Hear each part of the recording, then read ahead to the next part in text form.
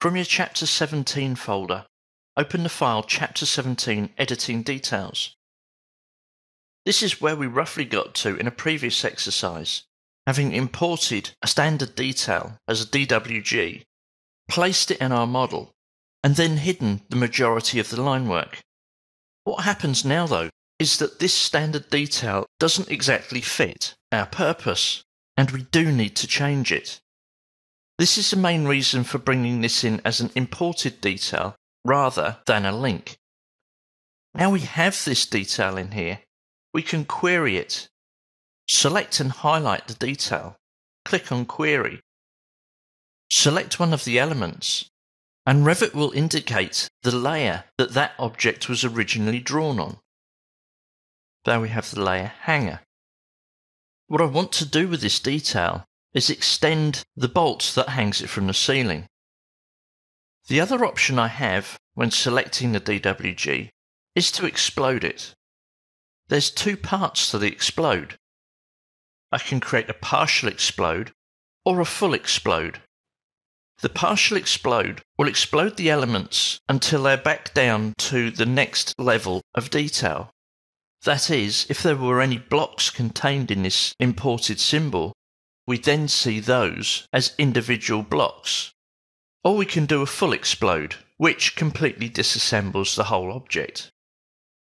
There are issues with both. The issue with exploding elements is that they will leave traces of the DWG in your model, which can have effects on the model's performance. In this instance, I'm going to use the full explode.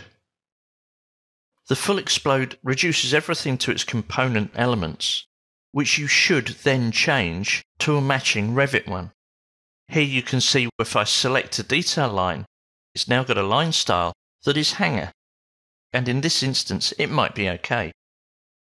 But if you do have a set of standard line styles, then you will want to select these lines, and let's select the chain as an example.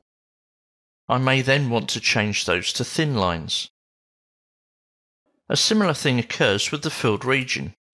If I select the filled region, you can see from the properties palette that it has a name pipehanger.dwg-1. I can change it to match one of my standard solid fills. And I'm now ready to start editing the rest of the detail. Create a crossing window through the bolt and the nut, and then click on Move. We can move this vertically up through the ceiling, and as we move those objects, the two lines stretch. Let's try that again. And I'll put thin lines on so we can see this detail a bit clearer. And I'll copy the washer from the base, select the washer, click on copy, choose a suitable base point and an end point, and tidy up my drawing. Here you can see that I can select the lines and drag them into the correct location. I can now unhide the pipes that I hid in a previous exercise. From the View control bar, click on Reveal Hidden Elements, and I'm going to select the pipe that's coming through the detail, and click on Unhide Element. Close the Reveal Hidden Elements button, and we can now see the pipe that we're detailing. Well, I'd actually like my detail to match the size of this pipe. That is, after all, what we're trying to do. So use the same techniques. I'll select the bottom part of this detail and move it. Everything stretches. I'll do the same for the sides. Press and hold the Control key to add lines. Then click on Move and do the same on the other side. Press and hold the control key and move. This time I'll type in 30 so that it matches the previous. Let's move the detail up slightly.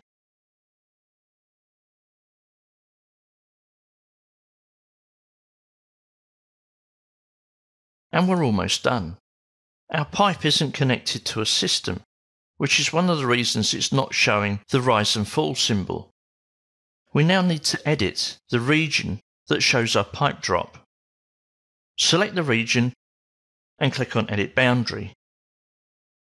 I'm going to delete one of these lines, then select the overall arc and click on Rescale. Click the center point of the circle, one of the end points, and then the outer face of the pipe. I'll do the same for this arc, resize, base point, end point, center, and now draw an arc using the start end radius. There's the start, there's the end, and a tangential radius. Click on Finish. The surplus detail lines can now be deleted. I can hear you asking, why didn't you just scale the pipelines as well? Well, if I had done that, which is a valid way of working if I wanted a standard detail, I wouldn't have been able to tag the pipe. So if the pipe size changes, the tag will too. I can now edit the location of the tag and, using the Annotate tab, place additional notes on the detail so we convey the right amount of information. This error message means that the text has disappeared outside the boundary. If I select the viewport boundary, notice that we have a double line around it. This external line controls what we can see from the text. I can now add leaders and any dimensions that are necessary.